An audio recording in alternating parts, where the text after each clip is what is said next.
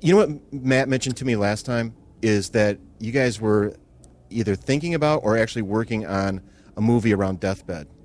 Uh, it's been that- talked about. Yeah, It's we been talked about still. we had our friend, yeah, our friend Isaac, who's a writer, um, uh, is a good friend of me and Matt. Uh, we had been talking to him for a while about. So we, we, Matt and I are both just huge fans of his writing. He, um, actually, one of his books was recently turned into a movie that um, it's called Warm Bodies. Really? It was kind of like a zombie. Uh, Zombies are in. it's a zombie romance novel, uh, kind of. Uh, it's it's a little bit Romeo and Juliet reminiscent, but it's the idea of the book is that it's a zombie who kind of finds love and comes back to life, kind of deal. And it's uh, Love it's can save you. I think it has a really I think it has a really good take on it, and the book is phenomenal. The um, all of his writing is phenomenal. The the movie I don't know if quite it it came off a little teen hokey, Oh, okay, you know, to me. But um, the book I would recommend to anyone, Yeah. anytime. So And he digs that song.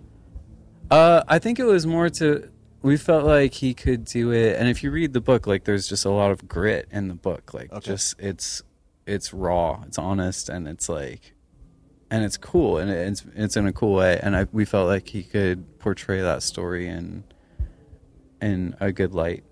Mm. So and.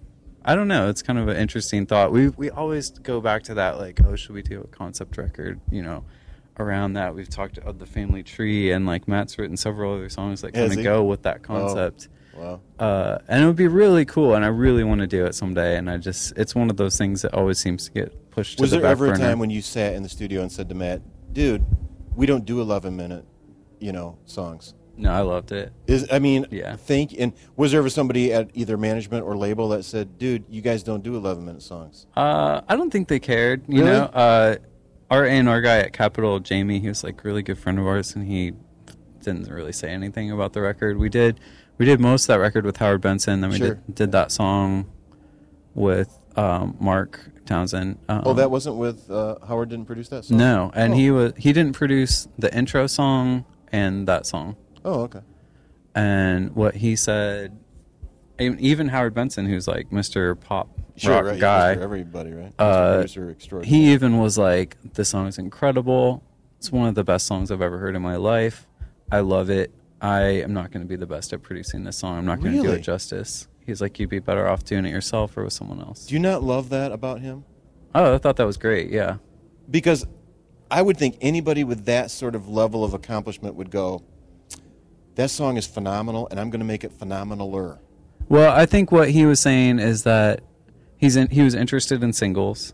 I can't make this a single, and I think he was being honest about the fact that he didn't really want to put the time in, Uh, right? Yeah, which is fair. also fair. That's and fair. we were like, you know what, cool, let's do it with Mark. You know, it'll be Yeah. great. And we honestly we spent three weeks on that song, and we probably spent less than three weeks doing the rest of the record with Howard. So, So, do you ever play it live? Deathbed, yeah, yeah. We uh, Is it played it. sporadically, or how? We played it for about a year and a half straight. Um, we did the whole the thing? whole thing: trumpets, acoustic guitars. Sweet.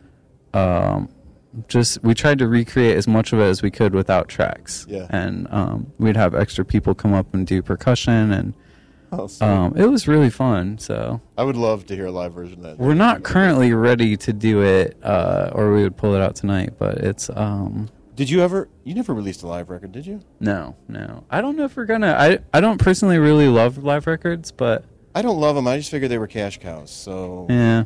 I don't know. We're Anyway, also not really into that either. Like if I- if you I- can believe it, it's that. funny. So, so why? Uh,